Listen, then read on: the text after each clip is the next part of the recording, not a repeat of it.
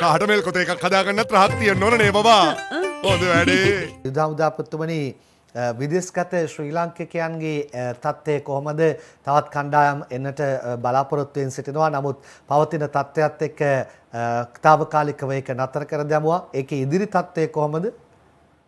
ඔහො දැන් මෙහෙමයි. විදේශ රටවල ඉන්න කට්ටිය ගෙනා ගැනීමට අවශ්‍යතාවය තිබෙනවා. ඒත් ඔබ දන්න ඉතින් රටේ තත්ත්වය අලුතෙන් පැහැදිලි කිරීමට අවශ්‍යතාවයක් නැහැ. නමුත් කෙසේ වෙතත් ඊයේ දිනේදීත් අපි මේ සමදිව සාකච්ඡා කරා විදේශ ලේකම්තුමත් මමත් අධිකරු ජනාධිපතිතුමත් සමග එහිදී ඇත්තටම අවස් අපිට දැනුම් දුන්නා විදේශ අමාත්‍යාංශයෙන් මේ 150ක විතර කණ්ඩායමක් ඩුබායි රාජ්‍යයේ අමුති පාක්ෂිකක වගේ ඉන්නවා ඒ කට්ටියට එන්න අපහසුතාවයක් තිබෙනවා කියලා. ඉතින් ඒ සමයදිව අධිකරු ජනාධිපතිතුමාගෙන් අනුමැතිය ලැබුණා. ඒ කට්ටිය ඉදිරියේ හැකි ඉක්මනින් ඕන්න ලංකාවට රැගෙන එන්න කියලා. නමුත් අද උදෑසන විවිධ මාධ්‍යයෙන් මගෙන් කතාත් කරලා ඇහුවා මේ මම උපදෙස් මම දුන්නාද කියලා සෞදි අරාබිය රාජ්‍යයෙන් ඒ වගේ කණ්ඩායමක් ගැන සෞදි අරාබිය ගැන කිසිසේත් කතා වුණේ නැහැ කොහෙවත්. මේ කතා වුණේ ඩුබායි රාජ්‍ය සම්බන්ධයෙන්. ඉතින් ඔවුන් අනිවාර්යයෙන්ම මේ ඉදිරි දින කිහිපෙදී ලංකාවට රැගෙන ඒමට කටයුතු කරන ලබනවා.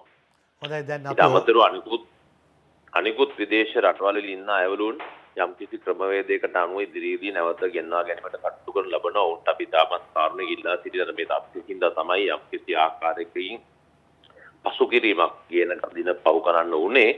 ඉදිරියේදී මේ ගැන ඉතින් අපි දැනගන්න ඕනේ රටේ තියෙන තත්ත්වات එක හැමදාම මේවත් එක්ක අපි ඉදිරියට ගමන් කරන්න ඕන. හින්දා ඒ කට්ටියට තියෙන අපහසුතාවනුත් සැලකිල්ල ගෙනලා ඉදිරියේදී අපි ඒ සම්බන්ධව ගෙන්නා ගැනීමට කටයුතු කරනු ලබනවා. හොඳයි ඊළඟ කාරණාව මෙහෙමයි යුද හමුදාපතිතුමනි ඒ තමයි අපි විදේශගතව ඉන්නෙත් අපේම අය අපේම ශ්‍රී ලාංකිකයන් ඒ නිසා මේ ප්‍රශ්නේ ඇහුවේ. හැබැයි මේ ප්‍රශ්නයත් අහන්න ඕනි මිනුවන්ගොඩ සහ පෑලියගොඩ පොකුර මතුවෙන්නේ කොතරින්ද කියලා හරියට නිදාණය අපිට තාම හොයාගන්න නිශ්චය කරගන්න බැරි වෙලා තියෙන අවස්ථාවක විදේශගතව සිට ශ්‍රී ලාංකිකයන් නැවත ගෙන්වා ගැනීමේ කටයුත්ත අවම වශයෙන් හෝ ආරම්භ කළකොත් ඒ තුලින් මේක සමාජගත වීම වළක්වා ගැනීම සඳහා අපි පෙරටත් වඩා සූදානම් වෙන්න ඕනේ. ඒ සඳහා තියෙන සූදානම කොහොමද?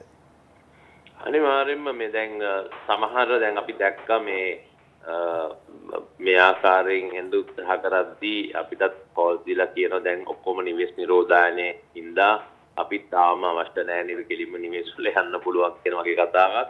ඒ වගේ තත්යකට යන්නට හැකියාව නැහැ. ඔබ කිව්ව එක හරියටම නිවැරදිනේ. ඔබ අපි කිව්ව ස්පොට් ඔන් කියන්න පුළුවන්. මේ සමහර අවස්ථාවලදී අපි දන්නේ දැන් එහෙදී PCR පරීක්ෂණය කරනවා කියනවා ඔබ දන්නවා මේ PCR පරීක්ෂණයේ නිවැරදිතාවය 70ක් කියනවා. ඒත් එක්ක වෛද්‍යවරුන් කියන සමහරලාට අද ගන්න තත්ත්වයේ මට හෙට අනිත් දවසේ වෙනස් වෙන්න පුළුවන් කියන පරක් තියෙනවා. ඉතින් මේ ඔක්කොම මත එක්ක බැලුවම පස්සේ අපිට මේක 100%ක් නිවැරදි දෙයක් නෙමෙයි. ඉතින් නමුත් එක් පුද්ගලයෙක්ගෙන් ඔබ දන්නවා මේ අපිට දැන් මේ දෙවනි වතාවේදී වෙච්ච තත්ත්වේ ඉතින් මේකින්දා අපිට කිසිසේත්ම කිසිම ආකාරයක අර රිස්ක් එකක් වගේ දෙයක් ගන්න බෑ. ඉතින් මේ දන්නවා මේකත් විශේෂයෙන්ම කියනවා වෙනත් ප්‍රබලයක් කියලා කියනවා. ඒක තාමත් ශීඝ්‍රයෙන් පැතිරෙනවා කියන මේ කතා ඔක්කොම බැලුවා පස්සේ ඉදිරියේදී ගෙන්නා ගැනීමේදී ඔබ අහුව ප්‍රශ්න තාමත් අදගත් ඔවුන් නිර්ණායනයන් හදාගෙන යනවා. අනිවාර්යයෙන්ම ගෙන්නනවා. නම් ඒක තමයි කිව්වේ. ක්‍රමානුකූලව එතගෙන ඔවුන් ඔවුන්ගේ ආරක්ෂාවටත් උදෙක්ම රටේ ජීවත් වෙන ජනතාවගේ ආරක්ෂාවටත් ක්‍රමවේදයකට අනුව තමයි ගෙන්නන්න ගෙනනවා ගෙනන්න කටයුතු කරනු ලබන්නේ. බොහොම ස්තුතියි ඔබතුමන්ට.